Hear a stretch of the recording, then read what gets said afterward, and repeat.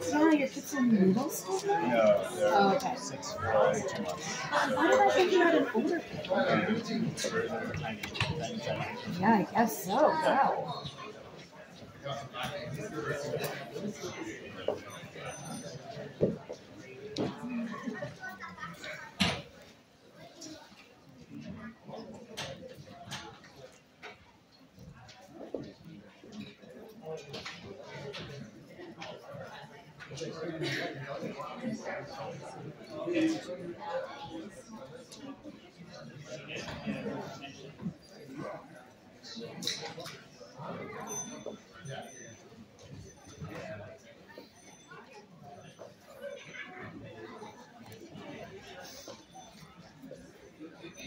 To feel more protected in Brooklyn, biking around, you would like more protected bike lanes, right?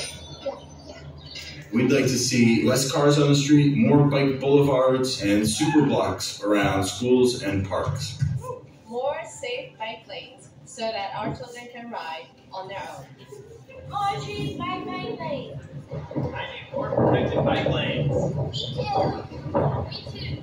A bike parking in the city for sure, where we can safely park our bikes. And also, we need less trash in the bike lane. I'd like to see more open streets near schools. I want no more double parking so that biking drivers uh, shouldn't turn into the bike lane.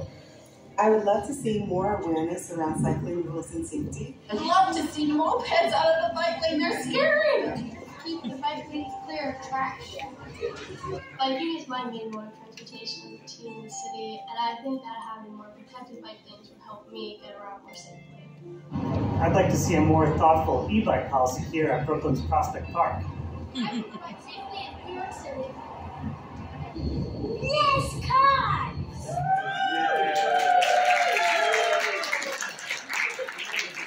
When I say who bikes Brooklyn, you say families bike Brooklyn, and we'll do that three times. Who bikes Brooklyn? Families bike Brooklyn. Who bikes Brooklyn? Families bike Brooklyn. Who bikes Brooklyn? Families bike Brooklyn. I'm an organizer, so uh, I tend to turn things into a rally whenever. Um, good evening. My name is Kathy, and I'm the proud, I'm proud to be the Brooklyn organizer for Transportation Alternatives. Welcome to our Families Bike Brooklyn uh, panel, a conversation about the needs and future of families that bike in Brooklyn. Judging by this awesome crowd, you can people care deeply about making family biking safe. Thank you to our friends at Brooklyn Public Library for hosting us, our moderator and panelists, our speakers, TA staff and volunteers, our board members, advisory council, um, everyone who's listed in the program. And most importantly, our Brooklyn activists who fight for safe streets in Brooklyn every day. We'll hear welcome remarks from few special guests. Uh, first up, please welcome David Woloch, Executive Vice President of External Affairs at Brooklyn Public Library.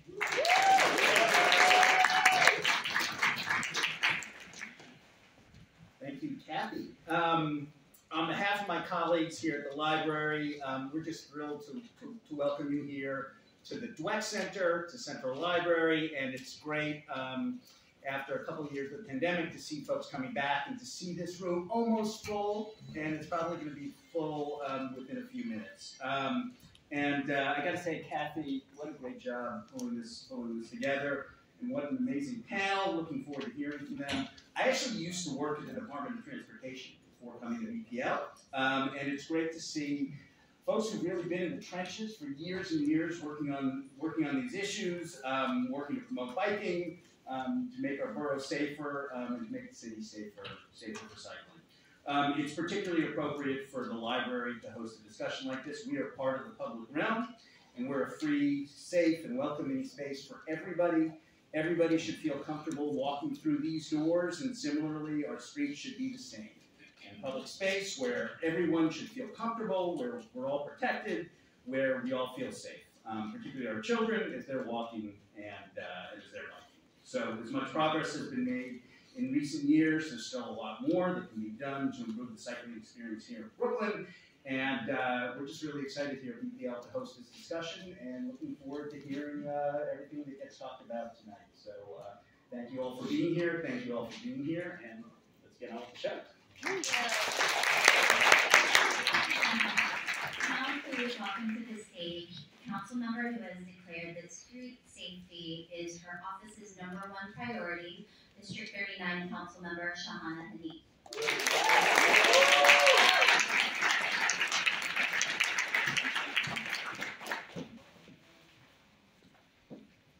Can we give a big round of applause to Kathy Park Good evening, everyone. I'm Councilmember Shahana Hanif, and I'm so thrilled that we are utilizing the library for this timely, important discussion, and I'm really interested in what our panelists have to share. I want to first just acknowledge and say her name, Sarah Schick, uh, was killed by a box truck driver in my district in Gowanus along the 9th Street, very dangerous 9th Street corridor. And so this has been the, the issue of street safety, cyclist safety, pedestrian safety, has, of course, is on my mind every single day. As Kathy mentioned, that this is the, the single most issue that FISA, our Constituent Services Director, that we hear about as an office on any given day. And, uh, and as a result of that, we've been meeting with Brooklyn Commissioner Keith Bray on a monthly basis and dedicated last week's monthly meeting with Senator Gounardes and Assemblywoman Jo Anne Simon um, to discuss the short and long-term plans for the 9th Street corridor. I am pushing for a protected bike lane. I'm pushing for a corridor-wide, an aggressive corridor-wide safety plan, and really look forward to working in close collaboration with the DOT, with uh, Transportation Alternatives, and all other stakeholders, including Katie from Principals uh, Coffee Shop. We just hung out uh, almost two hours ago in the coffee shop, which is adjacent to where uh, the death occurred, and so um, really looking forward to our upcoming, on Friday, we're doing a walkthrough, which may become a bike through tour of this corridor and really experience um, directly uh, just how dangerous this border has been and that we expeditiously need improvements um, immediately. Um, many of you might know I am a lupus survivor, and so uh, riding through Brooklyn has never been easy. Um, I don't cycle, and when I do cycle, I do so with groups. And so I was really proud to join uh, uh, TA's family ride in Prospect Park, where I uh, had just recently uh, gotten my left hip replaced for the second time um, as a lupus survivor, and decided that if I'm going to do this, I got to use an e-bike. And the Citi Bike e-bike the new fleet really made it easy, but of course, um, you might know that uh, e-bikes are banned in Prospect Park. And so together with, uh, right, that should really upset everybody. Together with council members uh, Rita Joseph and Crystal Hudson, uh, we wrote a letter before the end of 2022 um, asking Commissioner Sue Donoghue of Parks uh, to present us with a policy that is thoughtful um, and looks out for the safety of e-bike users. We know that e-bike users are families. We know that there was an incident when uh, a cargo bike, a family on a cargo bike was about to get ticketed $150 for riding through uh, Prospect Park, and your advocacy helped prevent that. But it brought awareness to the fact that e-bikes are not permitted in Prospect Park. Um, and that this also impacts delivery workers. So many of our immigrant workforce utilize uh, delivery to get food delivered to us. And they've been tagged as essential workers, and it's only right that we come up with a thoughtful policy um, that really addresses these needs. And so I'm going to continue to push to make sure that e-bikes are not banned from Prospect Park, but that we are utilizing a policy that is inclusive of all riders in the park. And that is, that is going to need to include signage um, and lighting and all sorts of mechanisms to improve the way we ride um, in Prospect Park. Um, and I'll just end by saying that we're also working closely with the DOT. They've got programs set up to uh, bring awareness to our delivery worker community um, on their rights and, and safety uh, protocols. And so in district, uh, we are about to begin some sessions with delivery workers. We've got a huge workforce of Bangladeshi and Latinx workers who live in the district, and I'm making a commitment to making sure that uh, these workers know their rights and that we're advocating for more for uh, this, this sector of workers. Um, and lastly, you know, Denver has modeled uh, a rebate, an e-bike rebate program that's been successful. And at the state level, we've got Assembly Member Bobby Carroll and Senator Julia Salazar um, who've got legislation that would bring us a, a, a rebate program for e-bikes, 50% off on bikes, $1,100 or less. And I support them, looking forward to seeing what the council could do, but um, you can count on me for working towards a rebate program similar to Denver, and I, I've noticed uh, that Washington, D.C. council members are also looking to implement a program there. So this is good policy, this works. We've got to do everything in our power to reduce our carbon emission and acknowledge that um, electric micromobility is the future of the city. Um, so let's do everything in our power to make sure that it's safe, that no one is dying, no more traffic fatalities, and um, that this is the future of New York City. Thank you all so much, and looking forward to hearing from The letter we sent to Commissioner Donoghue is at the table, at the TA table outside if you want a copy of it, um, and also uh, my business cards. In case you want to get in touch, uh, want to make sure that you have my. Thank you.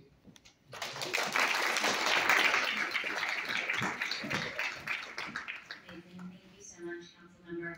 Um, next up is our Brooklyn's youngest cycling advocate, uh, Kaide Nardi is an 11-year-old sixth grader, and she has been biking to school since she was in the third grade. Please welcome Kaide Nardi.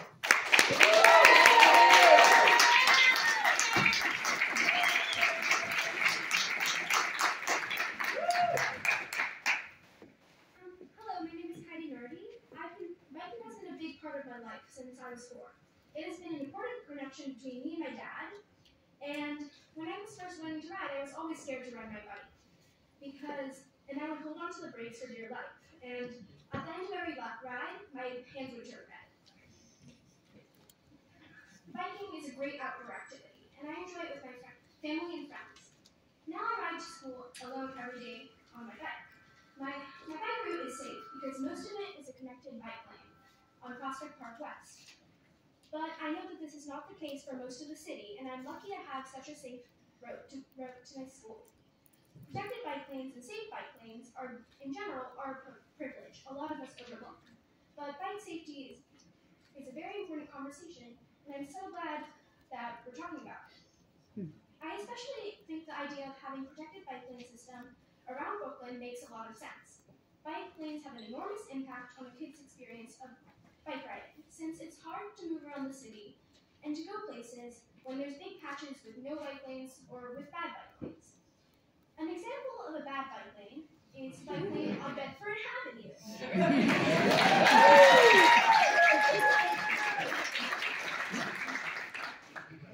on the map, it's a thick green line, but it turns out to be a dangerous bike lane that leads around a lot of cars. I accidentally rode on that bike lane when I was going to my Japanese class, but but it was so dangerous. And now, when we go to Japanese class, I prefer to use a road that has no bike lanes, and that says something. I hope this conversation inspires a lot of you to make biking safe.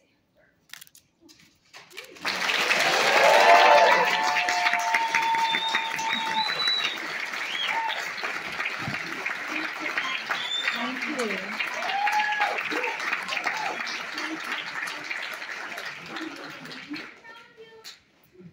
Finally, please help me welcome the Executive Director of Transportation Alternatives, the advocacy organization that has led the movement for better walking, biking, and public transit in New York City for 50 years. Please welcome Danny Harris.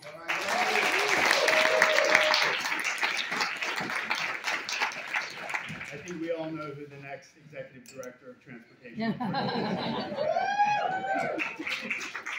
I, I want to thank all of you for coming. I want to thank our esteemed panel. I want to thank the council member. Uh, I, stand here not only honored to be the executive director of TA, I'm the father of three kids at six, four, and three months now. And so um, I am in the wonderful process of watching freedom, as many of you, there are children here, there are other parents. But you know, when you watch your child crawl the first time, when you watch them take the first step, and now my oldest is sort of at that stage where I'm letting go of the bicycle as we ride around in the park. And I feel so incredibly fortunate to be in this role and to work with all of you to advocate for safe bike infrastructure. And it breaks my heart every day that when I take this beautiful child of mine and I put her in the park, I know that she can't ride further than the secure gates of the parking of the uh, of the park in your house. And this is the reality of so many children in New York City is that we give our children this these first incredible breaths of freedom crawl, to walk, to bike. And then unfortunately, the city can't meet that invitation for our children to be able to ride and experience that freedom in the city.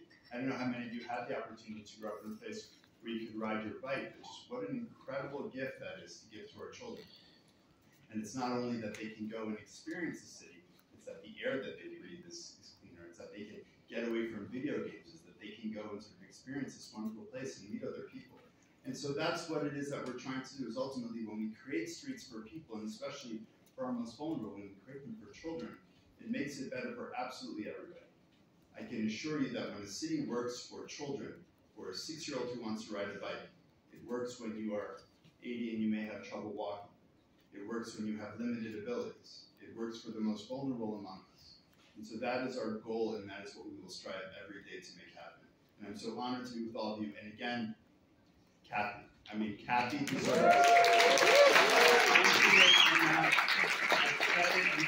And I, I just before I step down, if you are a, a staff member of TA, can you put your hand up so we can recognize you as well? Thank you. Remind the come join us. We gather in quiet moments like this. We gather to yell, but we always gather to move the city forward. So thank you very much. Amazing. Thank you to our guests for their leadership, inspiring messages, and calls to action. Um, just echo what Annie just said, which is when our streets are safe enough for our families, they're safe enough for everyone. Um, and now we're excited to get to the panel portion of our program. Um, a few months ago, I was chatting with Ryan Russo, who did so much to reclaim streets for walking, biking, and public transit as a former DOT leader. Here, um, here. About, sorry? I said here, here.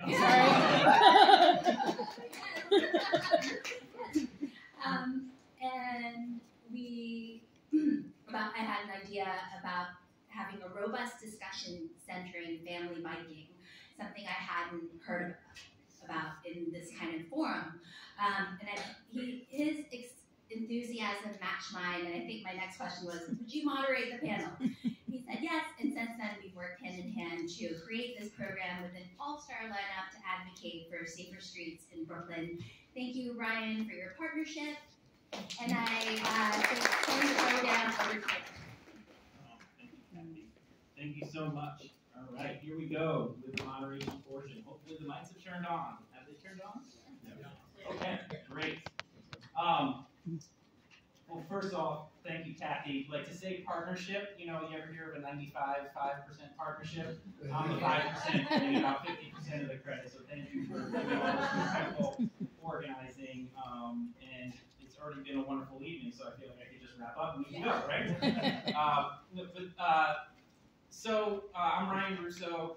Um, I am having the privilege of moderating tonight's panel, and I did spend a number of years at the New York City Department of Transportation working uh, to develop the city's city's bike network. And um, just a bit, there was a, there was a moment that that this event makes me think of when we uh, uh, developed the first parking protected bike lane, like the ones that were only in Europe on the other side of the parked cars on 9th Avenue between 23rd Street and 16th Street in 2007.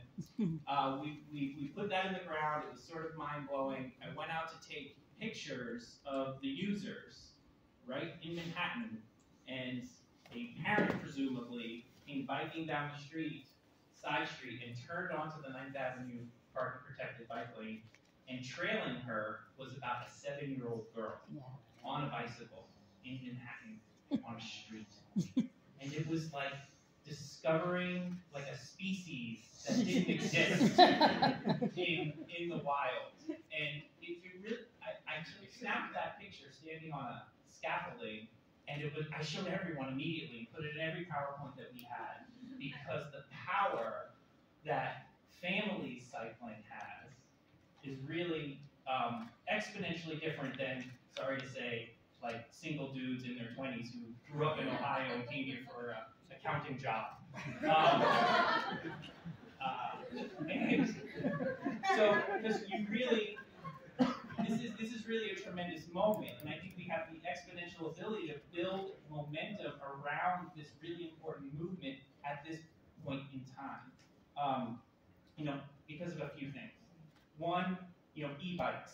We, we heard the council member talk about e-bikes. Um, the, the widespread proliferation of different varieties of bicycles with electric assist, uh, allowing families to bring not just their children, but their children and their groceries along with them to make cycling that much more useful to a family is uh, this moment is, is, is tremendous uh, that we need to take advantage of, and other cities are. Um, and you know, ultimately, you know, you don't hear politicians give speeches about how they want to help that single person. They always want to help families. And if families are cycling, people will notice, the momentum will build. And so it's a tremendous moment. We're really excited. And we're hoping with this panel, we, we chart a course. We get some specific actions that we can get to, to, to work together on, whether that's advocates, whether that's you and your community, whether that's government, our elected officials, our agency leaders, so that we can all work together to provide the safe streets that we need. So let's get uh, into it, and we do have quite an amazing panel. Your programs have uh, our panelists' bios. I will read the, the whole bio, I'll give a quick, quick intro, and then we'll get into it. We do have a closing time at the library, so I will give brief introductions for our panelists. First, I'd like to welcome our borough president, Antonio Reynoso.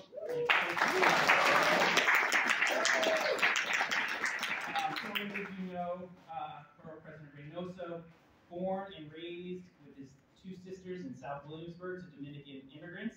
He's a progressive leader, but we all know that progressive leaders can be progressive on everything but transportation sometimes.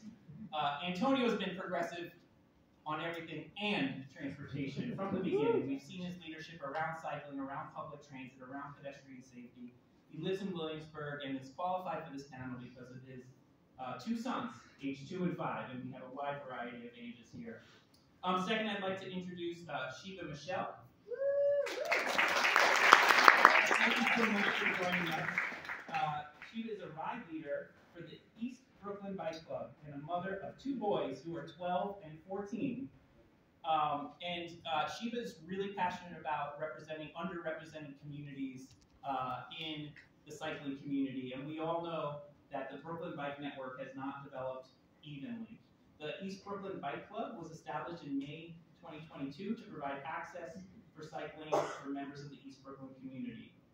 She was also a member of several bike clubs. I've never claimed several bike clubs. Good Company Bike Club, yes. the Century Good. Plus Crew, MBR Cycling, and by left hand now, Marino. Thank you for joining us. We also have with us Emily Stutz. Yeah, Emily. Uh, Emily's a special education teacher at PS 372. She has experience planning the physical bike education programming for her school community, including Bike to School Day, on her own. It's not like it's a DOT, DOE program. It's right. a collaborative opportunity, though.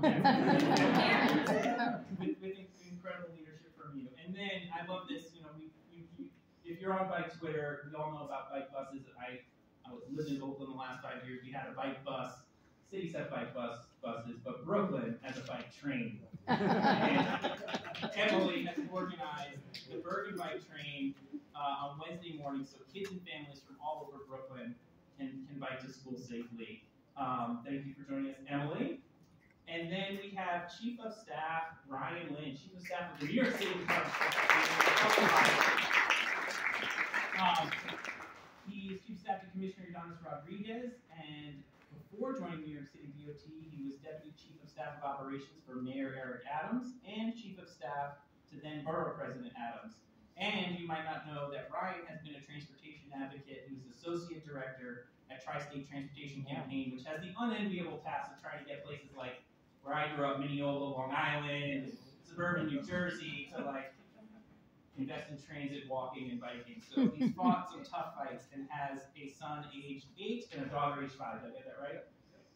Um, so thank you to our panel. We're, the way what we're going to do is we have a few questions that I'll, I'll ask. We'll go around, and then um, uh, TA is collecting cards of questions that you have. So we'll also have some questions from the audience, and then we'll have a lightning round. So here's how I want to start. So um, so many of us love biking because it's it's so joyful, right? It's just a it, and it, it has so many benefits, and we advocate for it because we think you know it'll do everything to save the planet, save people money, um, you know, uh, save you time, convenience. You know, you don't have to wait for the bus. There's so many benefits, but family biking in particular. Let's let's bring out like what really has brought you to family cycling. Why are you passionate about it? What, why do you think that um, you know, we should be talking about this this issue. Uh, and if you were advocating to a family that doesn't bike, what would you say is um, uh, why they should think about getting on? What are the, the top benefits for you? So let's start uh, with with our borough president uh, to kick us off. Testing, testing. Okay, thank you so much. Uh, so happy to be here. Kathy, we love you. Uh, Brooklyn, I love you. Uh, so I, I want to be honest. I think. Um, it would be great to have a bike network in which we can feel comfortable and safe and being able to travel with our families, but for too many, um, it's not the case. While I am an avid bike rider and care deeply about cycling, my wife not so much. Uh, she thinks it's a death sentence, right? She's like, I don't want you on this, uh, get a car, get a car, get a driver. I had my first year as a borough president and had no driver. Um, and you were in Borough Hall. And that's a very difficult thing to do in Brooklyn. I was out to Coney Island, to Canarsie, on my bike or on train.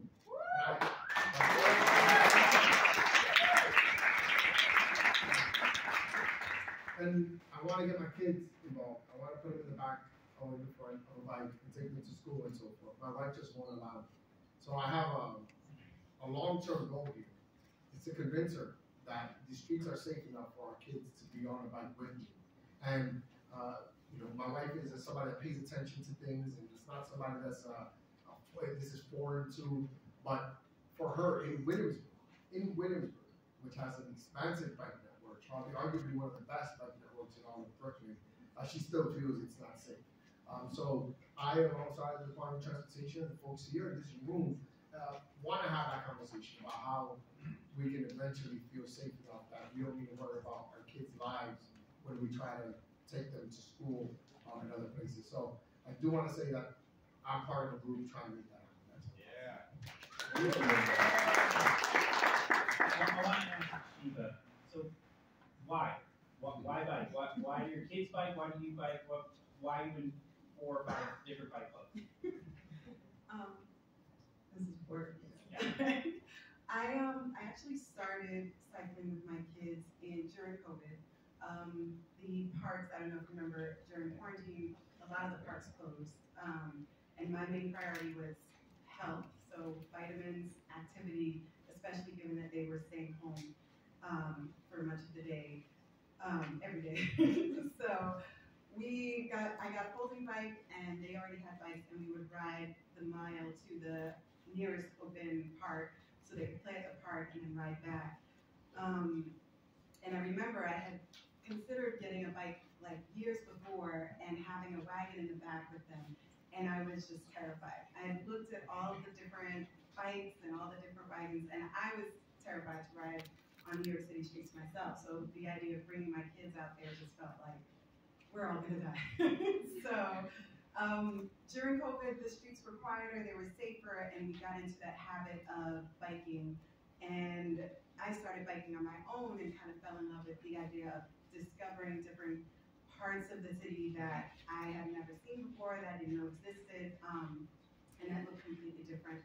Um, and I want that for my kids. I also want them to, to be more active, uh, especially after COVID. Um, having been online for school and socializing for about a year and a half, um, trying to get them back outside and get them active uh, and doing something that I love and can do together is important. Awesome. The, the togetherness is uh, one of one of my top top benefits. Emily, how about you? You're you're organizing in, in your schools the the, the Bergen uh, bike training. Like, why? W- why do you think more people should bike? Why are you doing this? I mean, I think, you know, for me, it's really just seeing kids be able to use their their bodies and their voices uh, and feel empowered.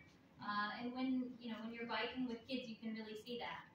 Uh, Kylie, my stepdaughter, she's 15. She just learned to ride last summer. Um, and you know when she was learning, there was a point where uh, you know she didn't want to learn from us at that point. She's a teen; she doesn't want to hear it. Uh, and she was told by the instructor to, you know, go one, two, three, glide, and then scream at the top of her lungs. She's a really quiet kid, but being on the bike gave her that sense that she could really do that. She could scream at the top of her lungs. She could experience that freedom, and I think that can the bike is a tool that can do that. Seeing in the Bergen bike train, you know, seeing kids from four years old biking themselves four miles to get to school, you know, that's something that can only happen with a bike. And as terrifying as it is sometimes to see her out there, we wouldn't want it any other way. I wouldn't want it any other way. She, if she wants to do that and she can, she should be allowed to do that. She should have a space where she can. Awesome. Thank you. Um, so Ryan, um, you know, you personally have been biking with your children, and now you have this opportunity to sort of be part of uh, a city agency. Why, why does the New York City DOT believe that getting more families on bikes uh, is good for the good for the borough? Um, it's, hello? Um, it's not just good for the borough, it's good for the city. So, you know, citywide approach to this. Um, but it's important because if you're looking at children riding a, a, a bicycle, the, I would always view them as indicator species of a healthy bike network. So getting more, more and more people out of their cars into sustainable modes of transportation um, is not only good for the environment, it's good for the economy, it's good for mobility in our, in our city. It's good for public safety.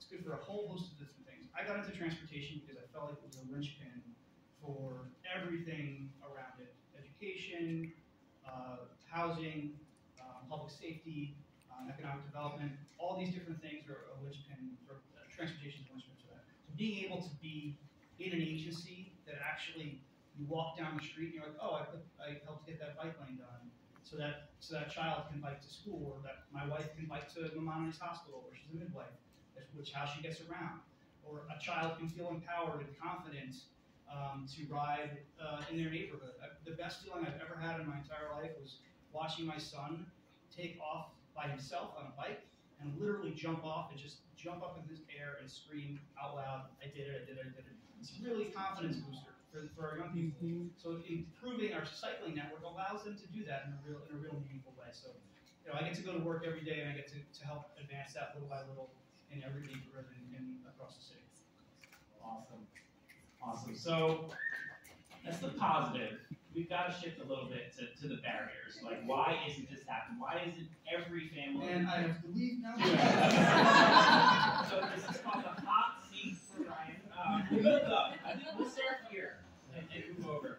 But, but, but, but seriously, like, um, you know, personally, it, it was as someone who built a lot of the bike lanes. It was kind of Oakland, where I lived the last five years, was quite quiet streets, and my kids could bike on, on many of them in a lot of different places, and they've actually lost some independence in coming back to Brooklyn, and that's that's eating at me, and it means the city has to do more. It means that there's too many cars, and and you know, as much as we want to promote, we know that your partner is not necessarily irrational, and we, we should mention, like the council member did, that Sarah Schick was struck and killed just this, you know, last week, and I, I, I get nauseous thinking about parents, uh, children losing their parents, someone I don't even know, and it's just, it's an unimaginable horror, and none of us want to see that happen. So, the, and not enough of us feel safe out there to do this. So, what other specific needs for families cycling on our streets, the kinds of streets that you've seen maybe in your travels, maybe in one neighborhood that, that there should be more of. So Emily, you're, you're leading many children biking on one street. Like you, you know, you talk to them. What, what kind of street would they see? Is it, you know, but the bike lanes? Is there a wider bike lane? You know, wave your wand. What should we be doing in Brooklyn? I think a lot of kids just want to see fewer cars on the street. I mean, when you look at the scale of cars compared to kids, it's not a fair fight uh, in any way. And so kids want kids want things like slip and slide and spaces where they can bike and place, places where they can play in the streets. Um, and I think that that would be a beautiful way forward. Yeah, so like bike boulevard concepts where you know cars are severely restricted except for local access. I should have mentioned in the intro remarks that one of the reasons why this is a great moment is you know the pandemic with open streets has really shown the way. More people walking and biking, and I think got a lot of people onto the mode. Bike sales exploded, um, and you know light traffic streets were, were a, big reason why people were comfortable, and unfortunately, we're kind of back and, and away from those those light traffic uh, streets. Uh, Shiva, how about you? You know, you, you bike in East New York, and now you're discovering different neighborhoods. I know you, you kind of observed some disparities in different neighborhoods. You know, talk about what you'd like to see and even where you'd like to see it. Yeah, I think um, similarly, when I bike with my children, it's about space. A lot of times, even when I bike on um, bike lanes, the amount of space that's allotted to the lane is not wide enough um, to avoid car doors opening and the cars on the street. Um, and sometimes my kids are even scared to bike on bike lanes. And there have definitely been times where we've had to, I've had to kind of take the lane of traffic to make sure that my kids are safe as we're riding together. And um, a big challenge with that is that a lot of drivers don't know the rules for cycling. They don't know that we can take a lane if it's not safe, and they don't know sometimes even that I'm supposed to be on the street and not on the sidewalk. Um, so I think that's a big part of it too, the um, awareness of drivers, um, but also just having more space for adults and children. Awesome. Is there, in, in, in the neighborhoods that you ride, is there a particular place, the space you think could come from? Is it like, there parked cars everywhere, double parked cars, you can lanes of traffic, what do you got? I mean, we've got double parked cars, but I specifically am thinking about Saratoga Avenue. Um, it's a two-lane street, and there's not really enough space even for two lanes of traffic. Um, and biking on Saratoga is the challenge for me. But with my kids, I always just take a whole lane. Um, but that, that feels very scary, I think, for me and for them. Yeah. Well, I'll just say that's the that that is the safest thing to do. You know, taking that lane, you've got that right to the lane. Unfortunately, not everyone is aware that you have the right to the lane, and our motorists don't uh, don't necessarily give give the space that you should have when, when you do take it. Okay, so now here we have our policymakers, you know, who have you know some power and authority to help us get there. Um, you know, the borough president's office, you know, been a champion. I know, I'm sure you hear people say we should never do congestion pricing. I know your office has been championing congestion pricing, bike lanes, sustainable transportation. You know, how can you take things to the next level in, in your advocacy uh, so that more families in Brooklyn can can choose this mode? So I think the, the first thing we need to do is be comfortable, or the city needs to be comfortable, with just taking over streets, complete streets, um, and uh, normalizing that. Right? Uh, we have the West Side Highway in the Manhattan, that's north to south, and I think it's the most used uh, bike lane in the entire country. Uh, and it's because it's safe, it's because it's dedicated. But that's north to south. We have a dedicated street that gets us east to west in Manhattan, for example. Um, we don't have that. And, if we're serious about uh, cycling and moving people away from the dependence on vehicles, we need to show people that have vehicles that we take that we're taking this infrastructure seriously and do bold not just things that are friendly. We've had conversations when I was a council member on taking over Bedford Avenue and turning it into a pedestrian bike lane, or Berry Street and turning the whole thing into a, uh, a bus lane, bike lane, uh, and uh, pedestrian, uh, like Fulton Street, uh, without any cars coming left to right.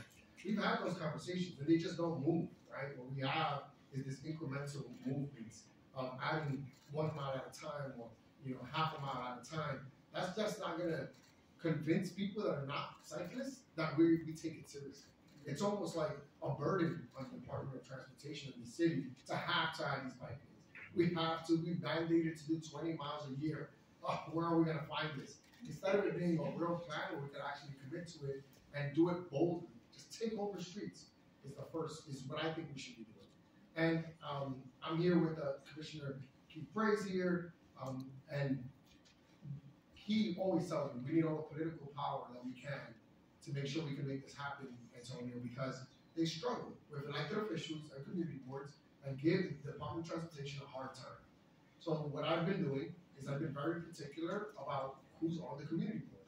And we've added the most amount of cyclists in the community board this last year. to the new focus on- If, if we added a question, do, how do you move around this city? And, you know, putting cycling would, would help you out. So one, everyone here, put that you're a part of TA, put that you're a cyclist on your application, and that will help you become a community board member in Brooklyn.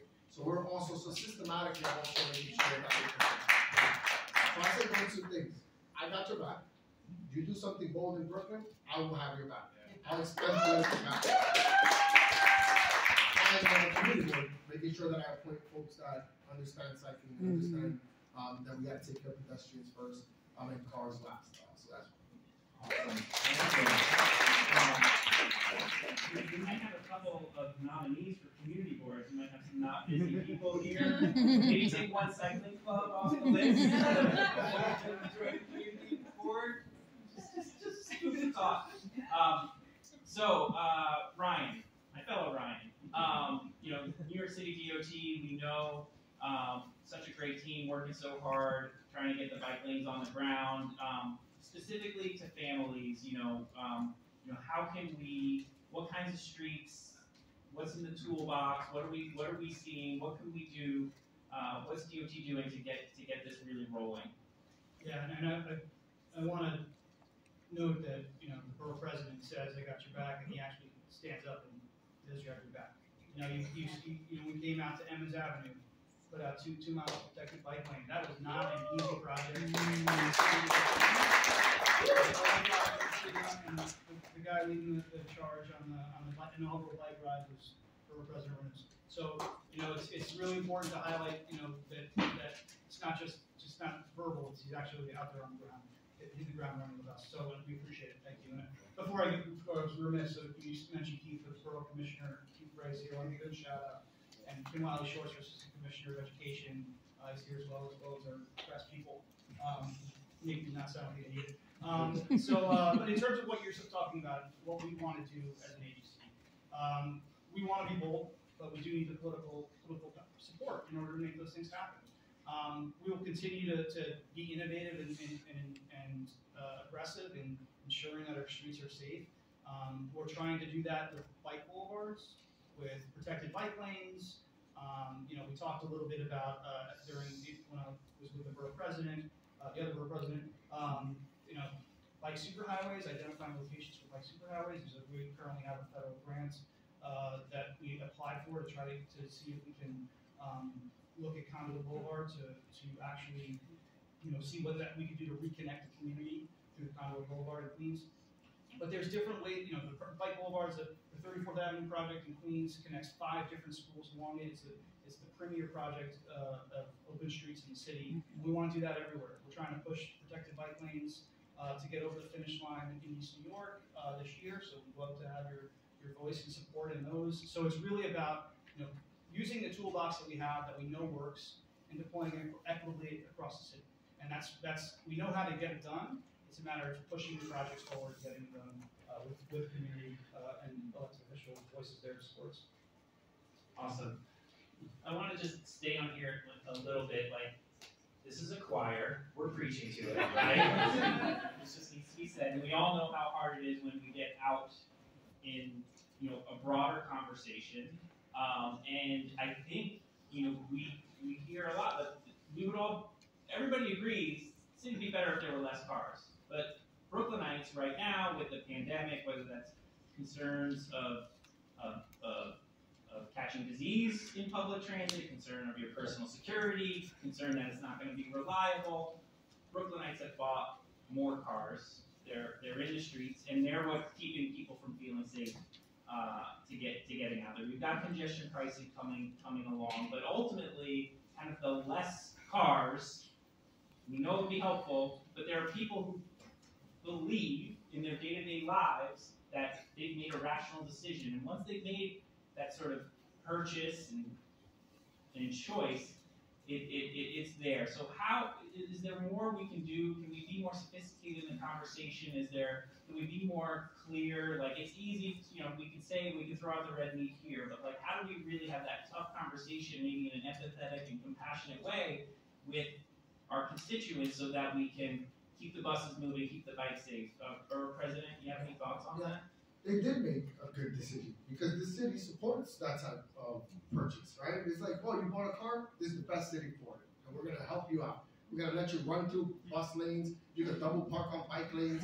You're gonna be the privilege of having a car in this city is amazing. So why not purchase a car? We have to move away from that, and the way to do that is by just really building out spaces that make it so that they feel uncomfortable. And I'm not saying uncomfortable in purchasing the vehicle. It's just that they don't own everything, or this culture, um, this bike, the uh, car culture. We start breaking it by showing people where they are allowed to be and where they're not allowed to be. The reason I got inspired to do anything related to this, I had a car, a really nice car that I liked when I was younger. Um, I had a 2006 Infiniti G35 Coupe. I thought I was the coolest kid on the block. Then I went to a kids ride club uh, from Woodhull Hospital Mhm. with Dr. Fishkin, and he was taking these kids around, and they had a an annual kids summit, bike summit, and they brought Enrique Peñalosa, who was the mayor of Bogota, Colombia. And what he did is first he towed all the cars. He just towed every single car. And he almost got assassinated by it. but he towed all, all the cars. And then after that, he built a bus network. And what he did is that he blocked it off. So there was protected bus lane.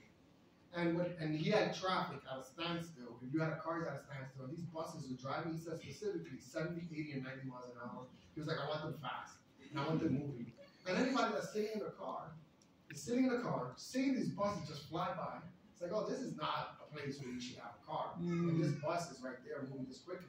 And I just feel like until uh, car drivers don't see that, they're not going to move out. Right now, you move faster than a bus in a car. It's easy, absolutely. You're, there, there's double parking that prevents the bus from taking the bus lane.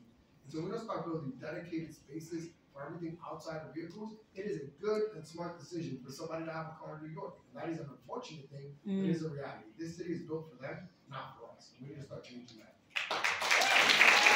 So,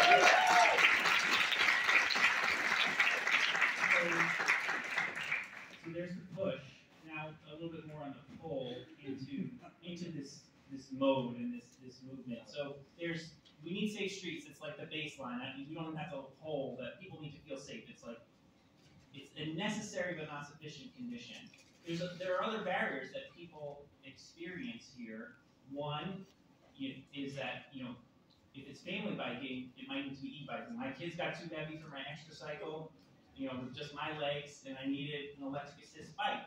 But those were running five thousand dollars, and you know, there's folks who, you know, spend their five thousand dollars, they need a car, and they don't have another five thousand sitting around for for an e-bike. There's where you park it and worrying about it getting stolen. There's will the police, if you register it, you know, will it be found if it if it's stolen? There's there's the gear you, you have to wear. Um, there's the gear for the kids, keeping the kids dry and wet. Um, uh, you know, the fact that we have a lot of walk-ups. So let's talk about some of the other barriers and what we could maybe do about them. You know, we heard about uh, uh, Denver and other cities that are getting on in, in the game of, of, of subsidies. Um, let's just hear from all our panels. Emily, let's start with you. You know, what, you, what, what barriers do you think we really need to address and any ideas for addressing them other than our street design? Yeah, I mean, a big obvious one is the is the e-bike subsidy. Um, we ended up buying an e-bike and then sold our car uh, right afterwards. We did have a car in Brooklyn because it was super convenient to have a car in Brooklyn. Uh, but buying the e-bike was a total car replacement, and a, but a subsidy would have helped us immensely. Like our e-bike went on my credit card and then paid it off over time. Like a our payment plan. Uh, but I also think having those safe places to park, think especially like an easy win is putting up more like bike parking at schools so that when kids can bike with their families, they can bike more independently, and then they have somewhere to put their bikes once they get there. So many schools don't have any bike parking. How can we expect for kids to bike themselves? And then it puts less of the burden on the parents. Yeah. Awesome. Makes a lot of sense. Shiva, how about you? You know, what, what, what barriers, what are the top barriers, you know, that, that stand in the way from you think more folks in that you know, uh, getting on bikes? Um, I would say the cost of cycling in general, the cost of the bikes, the gear, all of that. And when you have a family, it becomes more than just a cost for yourself. You now have to buy for two, three, four um, family members in order to ride together. Um, so that is, I think, a big barrier for a lot of. And uh, Ryan, you know, what, do- what do you hear in, ar- around? What do you, what's your sense that New Yorkers uh, need in addition to safely designed streets to get more folks on, uh, more families on bikes? So I think the first and foremost is the safely designed streets, but secure bike parking is one of the things that we prioritized last year uh, at the DOT. Uh, I think we put a record number of uh, daylighting intersections with with, um, with bike racks. So we're going to continue to lean into that, and really lean into um, you know expanding secure bike parking across the city. Something that we're committed to. Um, you know, I think the the additional items that you know we talked a little bit about e-bikes, but the, you know the cost of the e-bikes, um, something that the administration supports uh, in terms of uh, the bill up in Albany, and really thrilled that council member uh, is going to be um, you know supporting that bill as well, and I believe our, our team at City Hall be writing a letter in support of that bill. Um, uh, but yeah, it's, it's it's it's the cost of the e-bike. Um, you know, I, I'm eager to look into an e-bike. I know as much as my daughter chanting "Go Daddy, Go Daddy" up Bedford Hills, it's, it's not it's not doing it anymore. So I'm gonna have to, to, to, to figure out a way to, to, to diversify mobility, mobility options. So you know, I think it's it's providing it's providing a safe network. It's providing um, safe, uh, secure bike storage, and it's, it's making sure that these are options that are, are available to, to all walks of life in New York City. One of the first things I, I did at City Hall um, was to work with uh, Senator Schumer, Parks Department, and los Deliveristas to secure funding for uh, Deliverista hubs, where they can charge their uh, e-bikes, where they can um, the uh, they can receive city resources and, and connect to, to city resources. It's the first project I worked on at City Hall. One of my proudest projects to work on. We got to do more of that in the city to, to make sure it's available everywhere. The First first one is in is- Williamsburg. You know, in Williamsburg, is that the East Side Hub? Yeah, yeah, that's, Last that's, yeah, yeah, that one, and there's like a couple other old park newsstands that do it.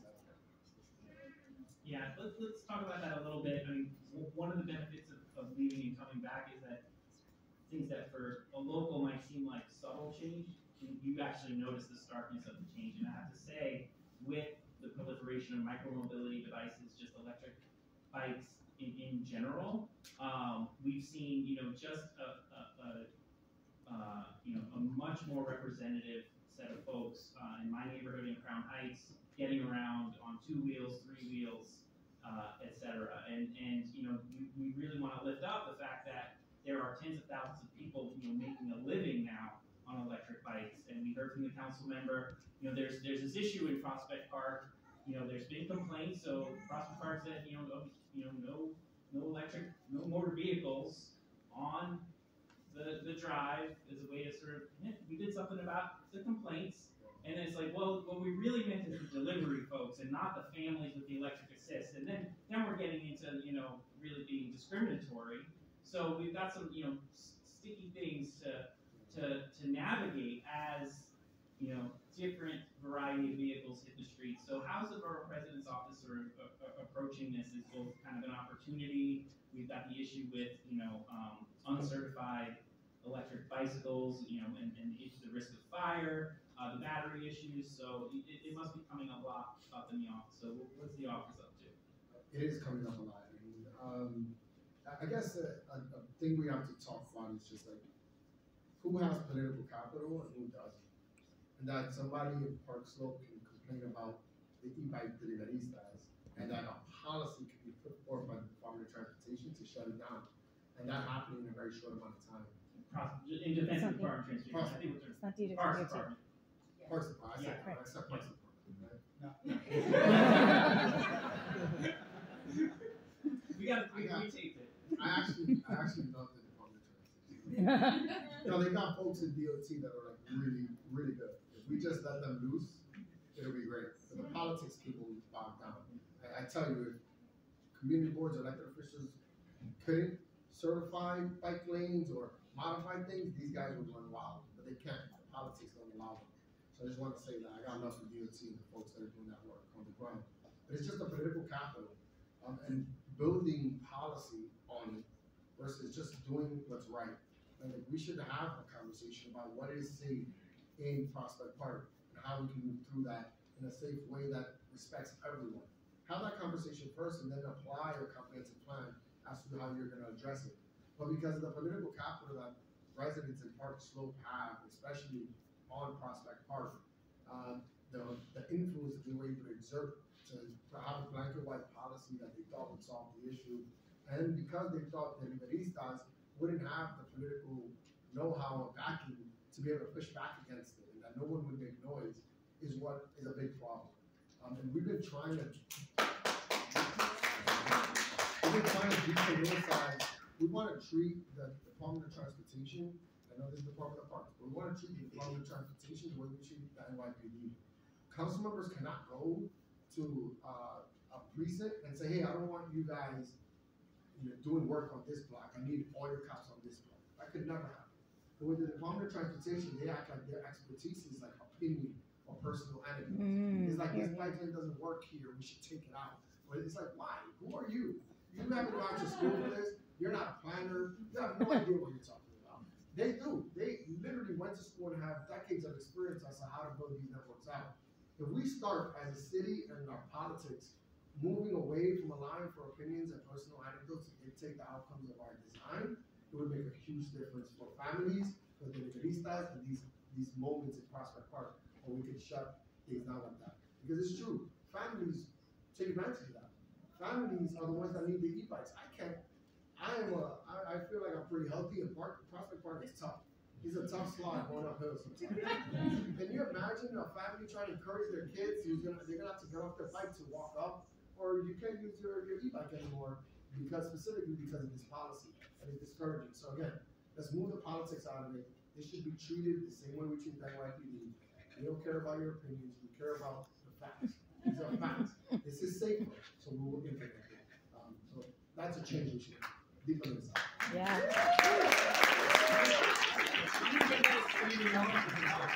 Me too. And I just like, so you're in the same office that Marty Markowitz held.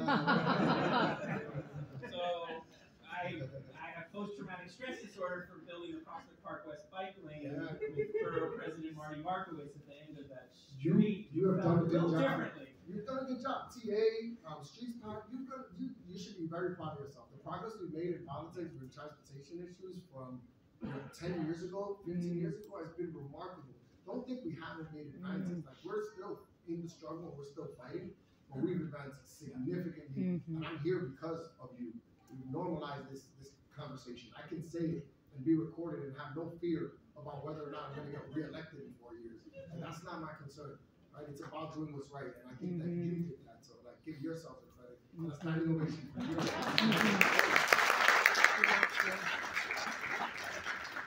Yeah, it, it, it is, it is, it is remarkable. I just want to check in, we wanted to make sure we had some audience questions. Are we ready to feed me a few audience questions? I think, yeah.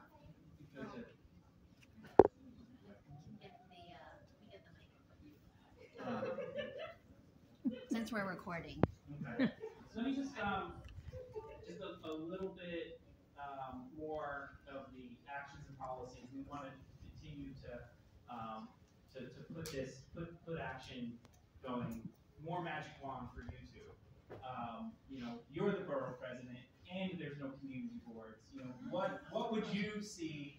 What would you do um, in, in, your ideal? You know, maybe specifically around schools. What, what what would you like to see happen really fast related to school hmm. transportation? Um, I gotta talk really fast for this one. uh, I think one thing is more school streets. Uh, I, I don't think that schools should have to apply for a school street. I think if you're a school, you should have a school street.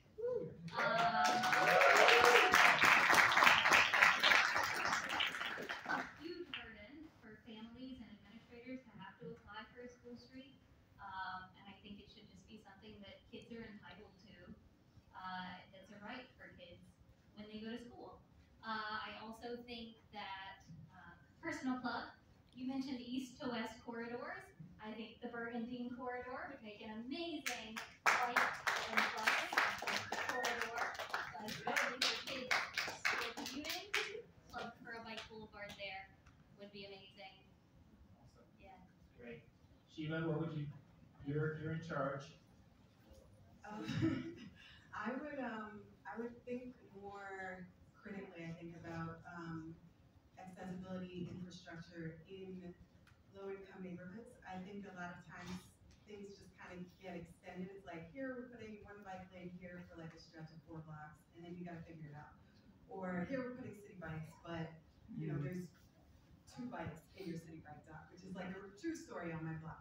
Um, and I think in order for people to be able to utilize these resources and start to bike, there needs to be funding for bikes, for people to get their own bikes or to be able to access Citi Bikes. Um, there needs to be safe bike lanes for them to travel on, um, because probably similar to me, when I started, before I started biking, I was terrified to bike in New York City streets. Um, and I think also some consideration of the fact that a lot of people in low-income neighborhoods live far from the trains. And so having a car is important. Um, and so when a Citi Bike dock comes in, it's like, you're taking away parking from people who need to have these cars in order to get around. And so having some kind of parking in the neighborhood, I know in my neighborhood, there's no public parking, there's nowhere I can pay to park my car. Um, and so having that, those parking spots taken away, it ends up being double parking all along the streets at night, and that's also very unsafe for cyclists. So I think considering all of the factors and not just trying to like put a Band-Aid on the, on the issues.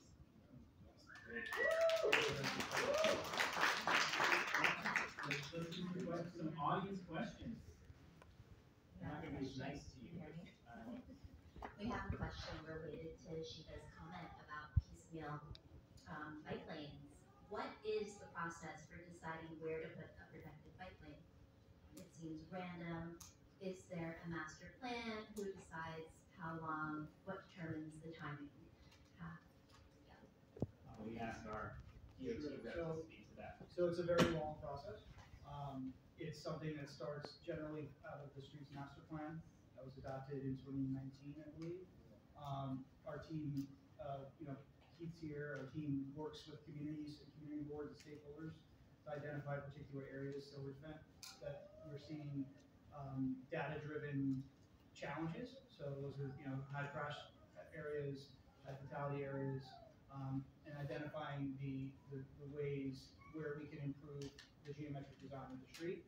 Um, I'm not a, I'm not an engineer, but, um, it- it's essentially just a, a planning process that, that come, generate an idea, you're going to the community, the community stakeholders, the elected officials, to provide feedback on, on what it would look like, and then a year later, it would be built.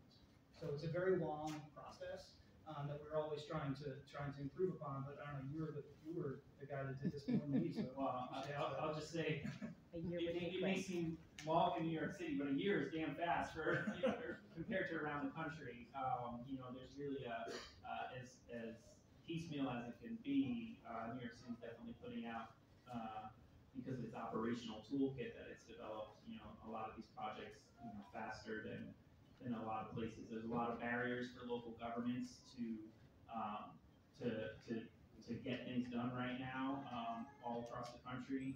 There's, there's vacancy crisis, you know, it's hard to keep folks on the team, you don't have a great team, or you don't have people to do the work, how, how's the work gonna get done? So that's another, you know, really important factor. All right, what else do we have from the audience? We've got several questions about the Bergen bike train and cycling education, and cycling is part of education. So, um, how do I get a bike train at my school? How can cycling become a part of public education, like PE class, curriculum? Um, and how can parents get organized, like and start a Bergen bike train at their own school?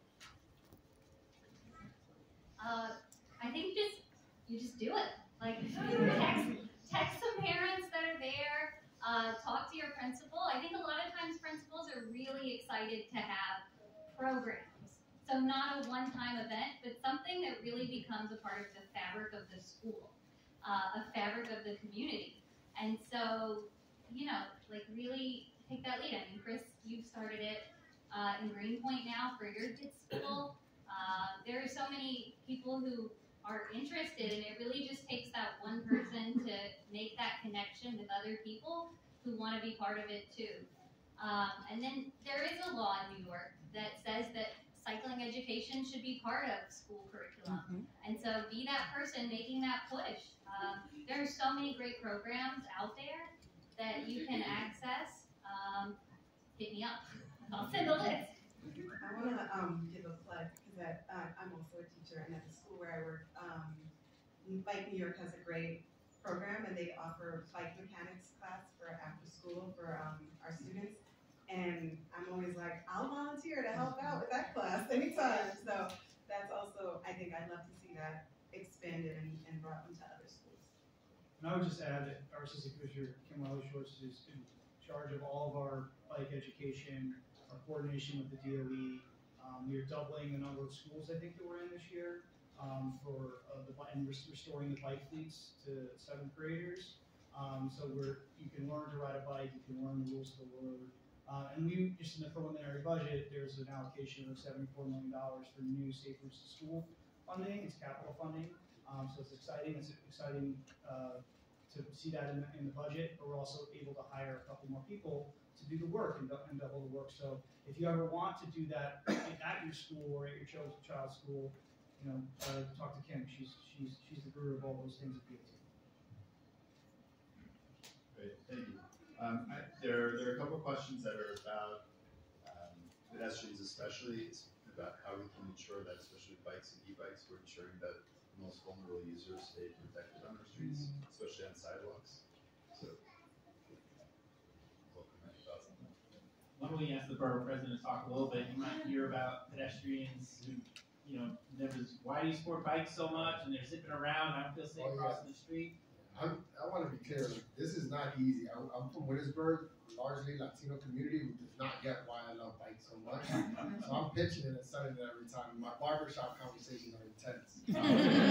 Um, I, I would say this. I think uh, another thing we can do, and it's a state issue, is we need to start educating people that a, a bike is closer to a pedestrian than it is a vehicle. Right? And I don't think people know that.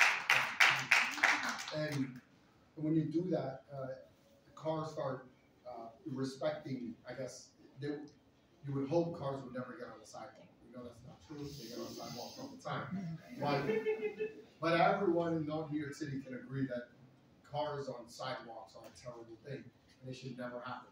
When a bike is getting on a sidewalk, they would they would only do it because it's dangerous. When a car is getting on a sidewalk, they do it for convenience and because they think that they work they own the world. A bike is doing it. There's no way you're getting on a sidewalk because you're you're doing it for your safety. You don't go down Bedford Avenue with all those double parked cars, all those car doors open at any random time.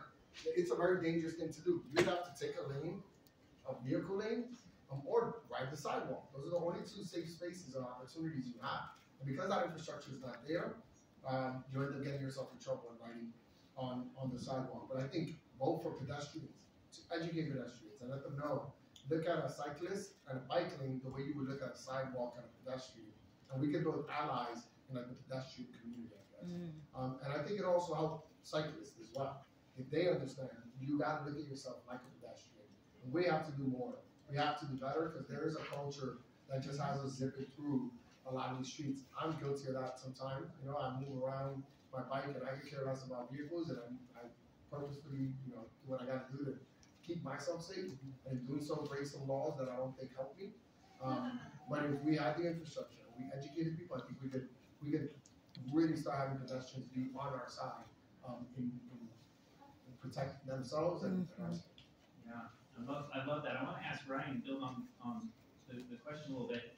I remember when, um, you know, we're in this, people see the, the outcome. It might be a DoorDash delivery person going the wrong way or on the sidewalk, and you know ultimately they're being held accountable by these venture capital funded apps that are saying get someone's food there super fast.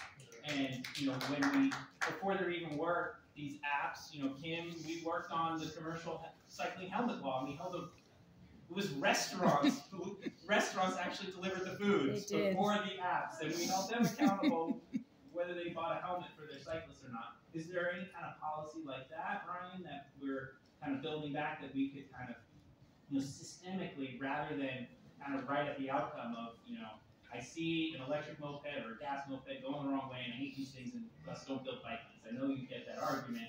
Like, what can we do policy wise around this issue? We need to build more bike lanes. Um, we also, uh, you know,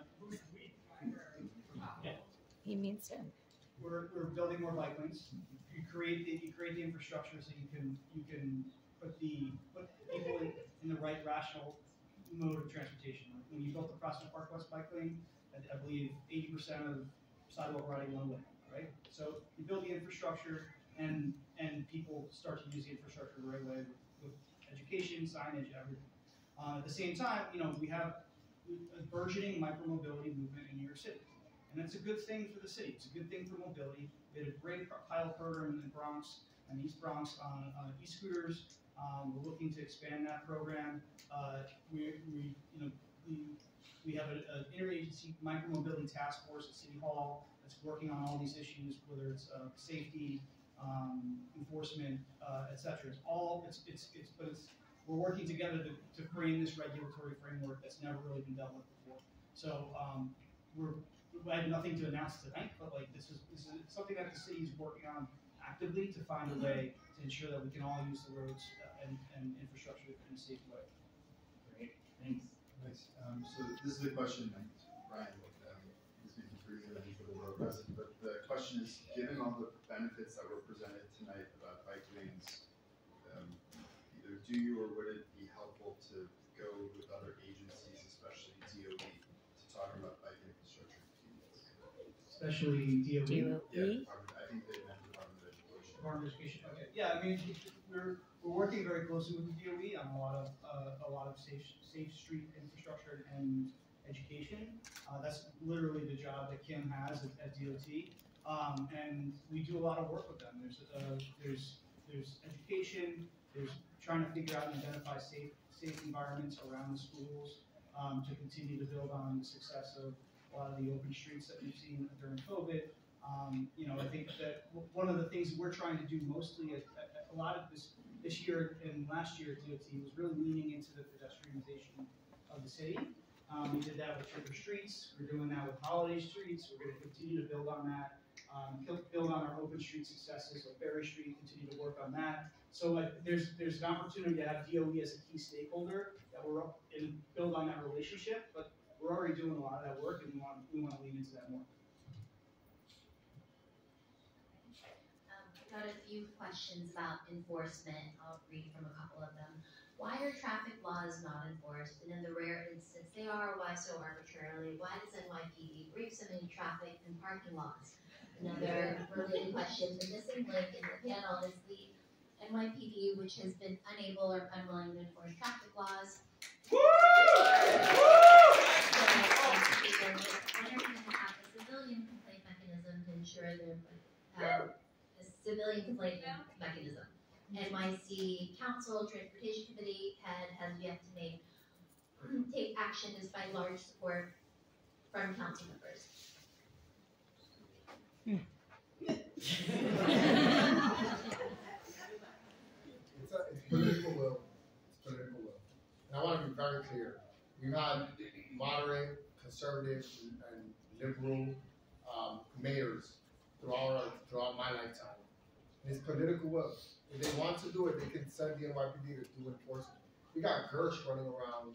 And- Giving off, giving off tapes things. A shout out to Gersh. But the point being is that the, the cops should be doing his job, not him. Not Gersh should be out there fixing license plates.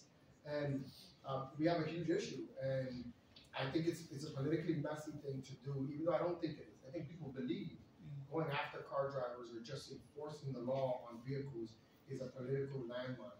When I, it, it isn't. But enforcement happens with political will. If you had a leader in place that would be willing to ask the NYPD to actually do the enforcement, it will be done. And they, and we haven't had, so, um, this is not on us, nobody in this panel, you could put somebody in the NYPD here, it doesn't matter. At the end of the day, it's at the top, top. Uh, Mayor Adams needs to tell NYPD.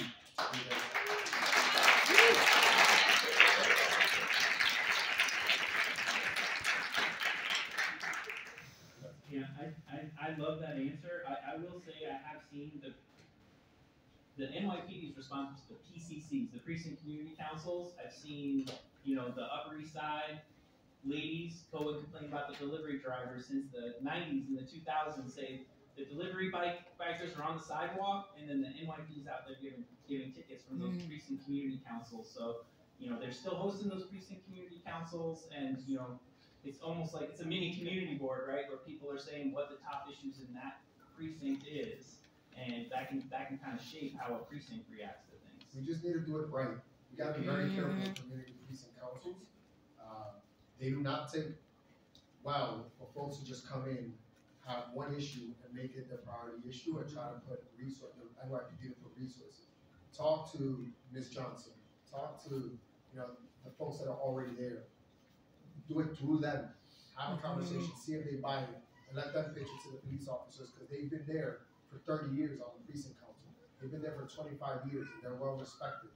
So when you organize, think about the people that are already there, and organize up, don't organize through. And I think that could be very helpful. Another question from the audience. Yes, um, summer streets are an amazing opportunity for families to walk and bike, but this is currently only in Manhattan. Can we get this in Brooklyn and Queens in twenty twenty-three? I, obviously, I want it. Um, uh, Donovan Richards, the Queensborough president, and I wrote a joint letter to the Department of Transportation. We are going to be doing some type of input session because we don't know exactly where that street would be. Uh, because we want it to be long, we want it to be, you know, something that, we want to beat Manhattan pretty much. We want to have the longest in the city. So we will be doing that and presenting it to the Department of Transportation. They've shown interest in the conversations I've had, um, how fast we can get it. You know, this summer is only like five months away, four months away. You know, that, that seems like a more normal amount of time for that to happen. Uh, I don't know how long it takes for them to plan it, but we want it. Um, if you guys give us any ideas, we would definitely love to, to, to support that. Yeah, it's something that we're, we're actively, we're actively reviewing internally, and, and, you know, so we saw the letter from, uh, both of our presidents, and I'll just say that, you know, we're continuing to, the commissioner every day is telling us that we need to continue to reimagine public space in in the city, and, and that's the largest space of, public space in the city is our roadways, so, um, we're, every day we're, we're tasked with, you know, we have to reimagine this public space, and looking forward to having this continued conversation with our presidents. Is, uh, is there any specific resource that the Department of Transportation needs to make that happen outside of um, shutting it down? Like, I just want to know what, what, what you need. So I mean, it's, it's a it's a manpower issue. It's uh in terms of you know the work coordinating the NYPD and other agencies in order to, to shut down or open up a street rather um, for, for people. So I, I think it's it, it's it's really just about a coordinating piece and having the financial resources to assist that in order to do that. It's not something that's like pre-lined in our budget. So we have to find a way to to, to coordinate the, all the agencies and all the stakeholders on this to, to make it a reality. But we'd love to continue the conversation. Yeah, I have to say I'm, I'm sort of like hyperventilating thinking about the staff that's already up with the New York City Marathon and Bike New York and um, all the events and, and you know the, the demand for open streets um, and the commitment that the New York City DOT ha- team has to do it equitably, which might mean you know supporting open streets events in neighborhoods that don't their events don't end up on Twitter or they might not get seen by that by activists, but there's been such a commitment uh, to equity that these things are, are happening. But you, know, you don't want to just close the street and then create enemies. There's all, all the programming that you want to have to go with it because it is a tremendous opportunity. But you need to know like what what what will land in that community. Is it cult- cultural program? What kind of cultural programming? Yeah, um, is it is it physical activity program? What kind of physical activity program works in in those communities? The last thing we want is to like stamp, you know, a plain vanilla Park Avenues, summer streets on uh, you know uh, uh, a neighborhood in Brooklyn. Um, how are we doing on time? Are we ready for the lightning round or a couple more audience questions? One more question, All right. Family, question. Um, what would you tell the seven-year-old child who wants to ride a bike or jump on the back of the parent's bike?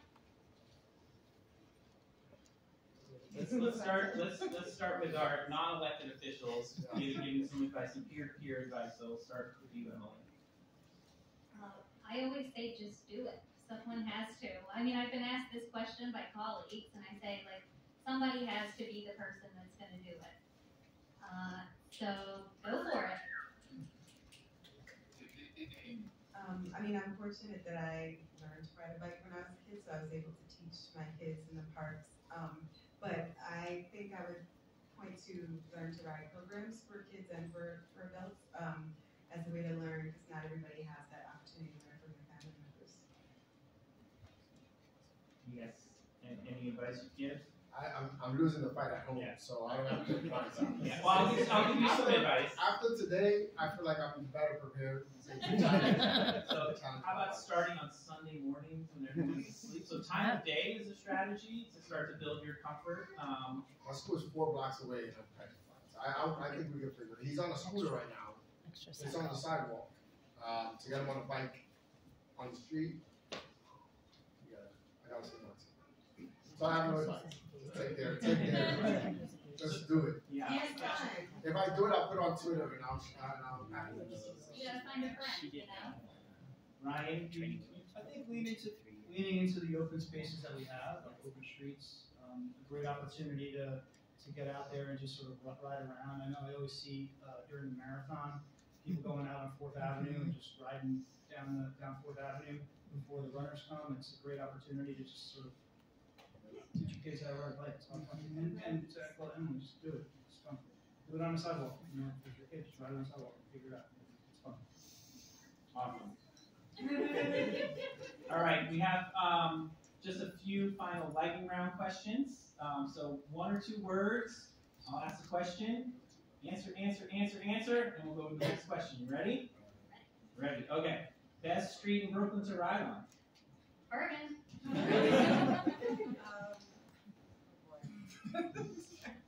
Come back to me. I'm, re- I'm agreeing with Bushwick. I'm gonna go Flatbush between the park and Botanic Garden. Thanks to Paco. Nice. Prospect Park West. Prospect Park West. All right.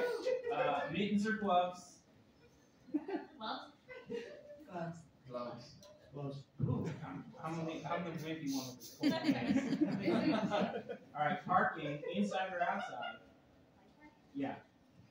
Inside? Outside. Three stolen bikes outside. It's a combo, inside and outside. Okay. All right. The age when your child will be, was, or would be allowed to ride alone in mm. Brooklyn. When would you let the child? Like this, there's the 11 year old rides the bus. You know, I think we're like 11. You let your kid ride transit to school. Mm-hmm. What what age would we let your child ride in Brooklyn right now? I think fourth grade, that's when they can walk to school. Fifth grade.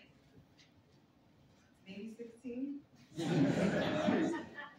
Middle school, so seventh grade? Sixth grade, I'm sorry. Yeah, Yeah, I'd say sixth grade. All right. Okay, you're biking with kids. They're on their own bikes. You bike in front of them, back of them, or alongside of them. Depends on whether you're at the intersection. You look at Hilda? What's the answer, Hilda? It depends. But I guess the person beside them, box them in. Box them in. Typically in front or the side. I always go, I always go kind of to, from the back and then off to the left. So like an angle. Like seven o'clock. Seven o'clock, yeah. Yeah, seven o'clock. Got it. I'm just, I'm your wingman. Awesome. All right. The top season for biking, multiple choice. Fall, winter, spring, summer. E, all seasons.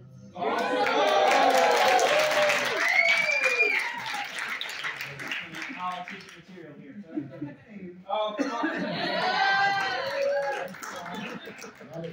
Fall. Uh, gotta love New York in fall. Fall's good, you don't sweat as much. Yeah. I, I'll go fall too. All right. Okay. Our last um, lightning round question: the favorite place to bike to in Brooklyn? Brooklyn's so filled with amazing places. Where do you love to? It's a nice spring day. Where would you love to go on a bike ride to? Restaurant, park, uh, point of interest. Come back. All right. I really love um, Shirley Chisholm Park and it's really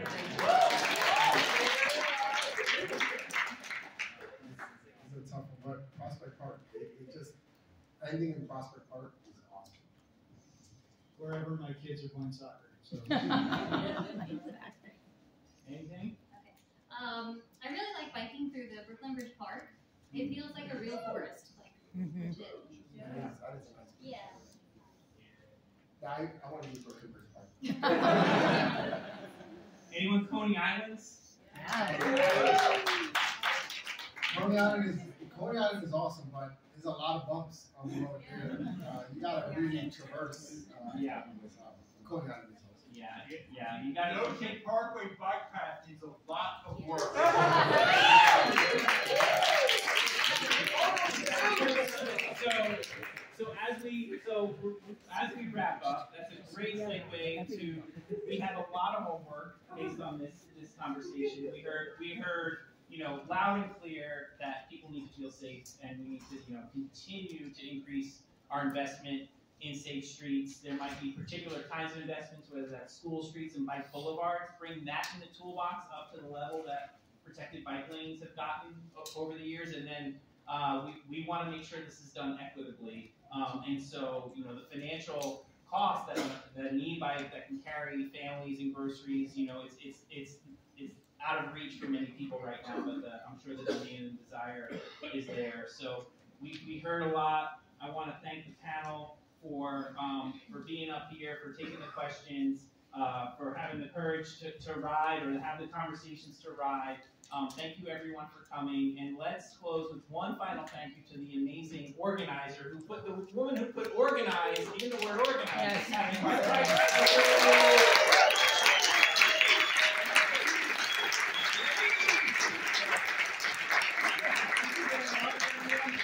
Is there anything I left out, Kathy, since you did ninety-five percent of the organizing, I did five? All right, we're done.